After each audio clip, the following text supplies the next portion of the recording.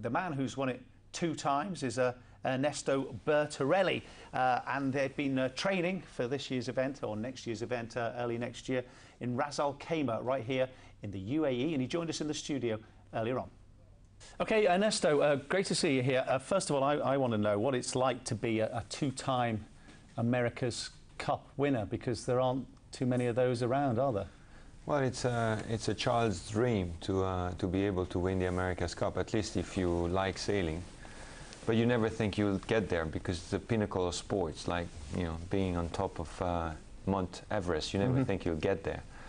So I started as a kid and um, little by little did better and better. Got good guys around me, built a strong team, and uh, went to New Zealand and won a first time.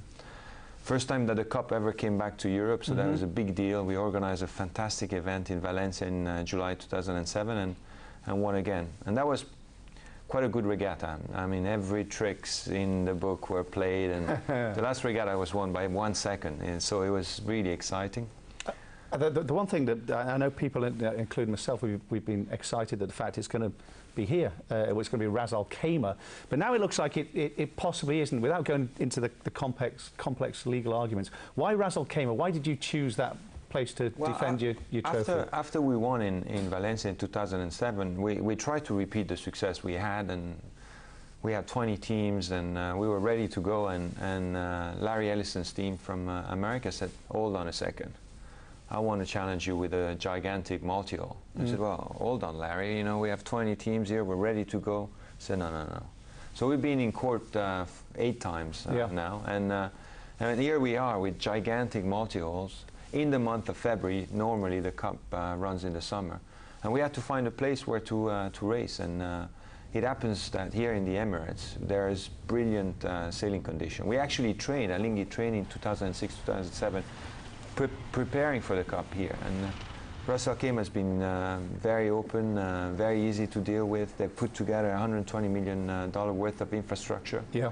They built an, a, a man-made island for us to uh, put our base, and uh, we sail ev- every day, and it's beautiful. It's absolutely beautiful. No doubt about it. Um, I, I saw some uh, um, pictures, um, quite amazing pictures of, of, of the, the, the craft itself, because it was it was built in, in Switzerland, being sort of airlifted by a helicopter.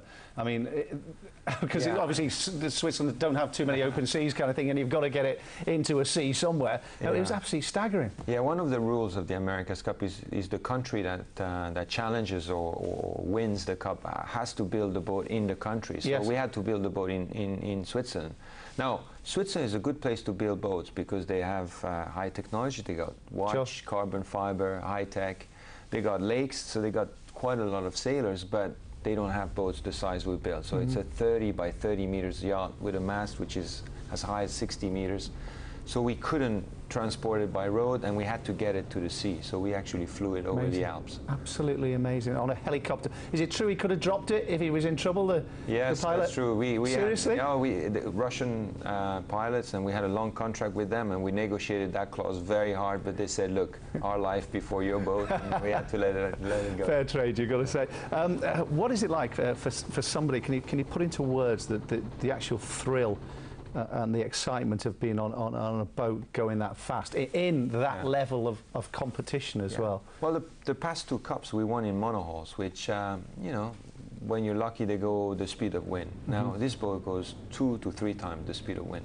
And the first exciting is that nobody knew if we were going to be able to put together a machine that big, that fast, that light, that stiff.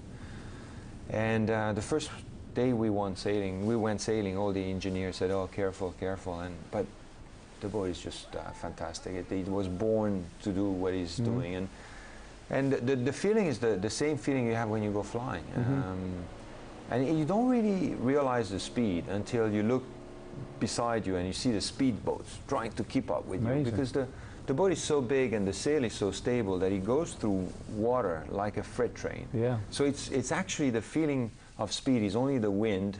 Then you start flying off the air, so you're far from, from the water, about 10 meters off the water.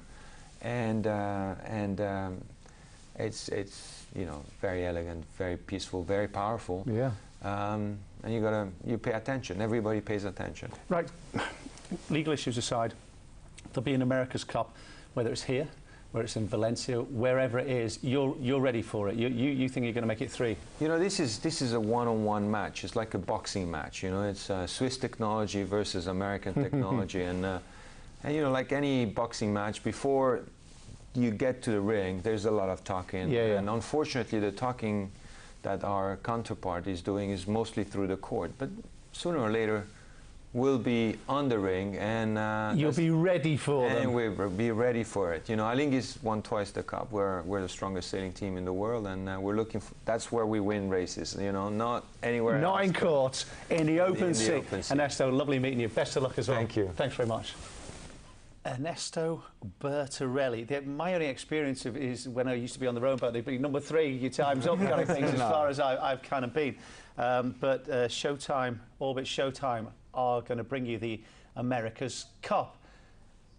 Flying it over the Alps. And so it's, it's, Unbelievable, isn't it? it's, a, it's a cheap sport then, is it? Yeah, yeah, yeah.